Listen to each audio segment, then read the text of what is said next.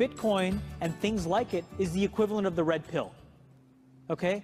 We are entering a completely world of uncharted water Have right you now. made any investments in Bitcoin? So, I mean, I personally, I own Bitcoin in my hedge fund. I own Bitcoin in my fund. I own Bitcoin in my private account. Uh, it is a huge deal. It's a huge, huge, huge deal. Because what you're talking about right now is for the next three to five years, an unbelievably better store value. It is gold 2.0. This is a currency, a currency that's really going to work eventually. Well, I think it is working, um, and uh, there will be other currencies like it that may, may be even better. Um, but in the meantime, um, there's a big industry around Bitcoin, mm-hmm. and um, you know people have made fortunes out of Bitcoin. Bitcoin, there is no Bitcoin company, there is no uh, Bitcoin building, there's even not even a Bitcoin server anywhere that you could shut down. It is completely distributed. Um, that's what's unique about Bitcoin. It is, for the first time, a way for the two of us to exchange value online without a third party intermediary. Until the invention of Bitcoin, for you and me to exchange money online, we had to employ a third party like PayPal, like Visa, like MasterCard, right? And we live in the 21st century. If we want to have a video call to China, we can do that for free. But to send a couple hundred bucks, which is essentially just ones and zeros being moved around, costs 5% plus takes over a day. Bitcoin is exciting because it shows how cheap it can be. Uh, Bitcoin is is better than currency in that uh, you don't have to be physically in the same place. And of course, for large transactions, currency can, can get pretty inconvenient. You'll see Bitcoin trading at 1,000, 2,000, 5,000, 10,000. Rick Falkvinge does an excellent analysis. He predicts that Bitcoin will capture between 1 and 10% of the global Forex market, which implies a price of between 100,000 to a million dollars per Bitcoin. Most of the people who are on the sidelines not buying Bitcoin today will start to buy Bitcoin when it gets over a thousand, hmm. and then a greater percentage of people will definitely plow into Bitcoin when it starts to get over ten thousand. Still predicting Bitcoin ten thousand dollars per Bitcoin in three years.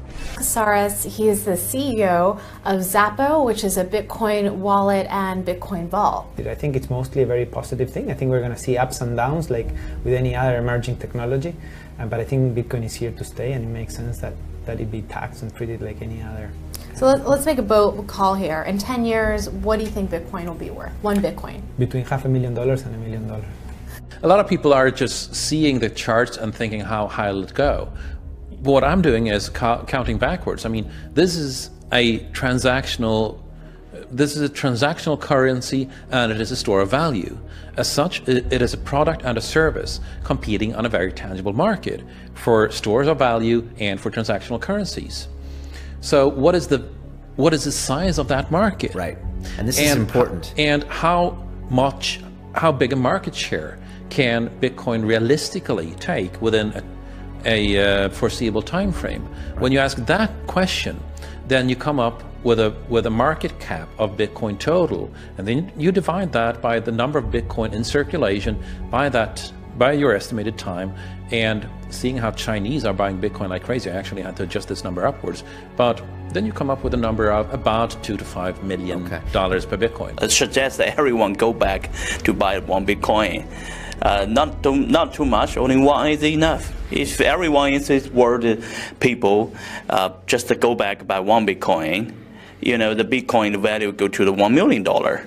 When the Bitcoin have one million dollar, you know the all around the world will be crazy, and uh, everyone will be the follow, and the other digital currency just be you know um, be grandson of the Bitcoin.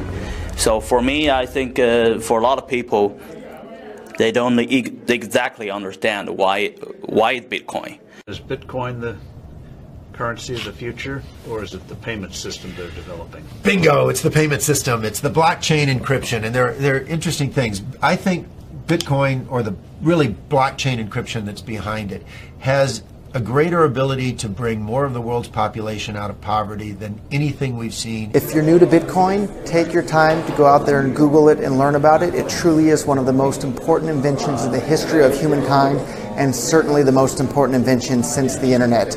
Go out there, make a Bitcoin wallet, get involved, start using it, learn about all the positive ways in which this is going to improve the lives of every single person on the planet.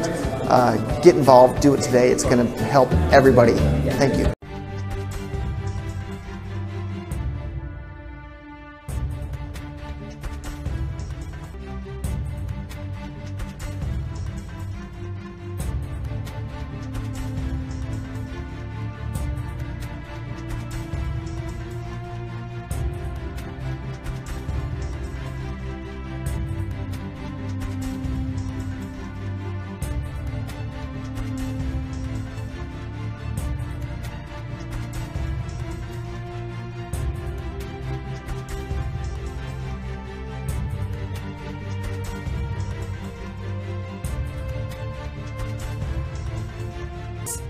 Satoshi Nakamoto is the person or persons behind Bitcoin. Launching the software in 2009, Nakamoto passed majority control onto scientist Gavin Andresen in late 2010. And Andresen's comments capture Bitcoin perfectly. He says it's like better gold than gold. Nakamoto's believed to be in possession of 1 million bitcoins, equivalent to 1.1 billion US dollars. But his name is probably a pseudonym. The real identity of Satoshi Nakamoto is unknown. It's been suggested that electronics companies Samsung, Toshiba, Nakamichi, and Motorola are the founders, but there's been no confirmation. It's a mystery for the modern world.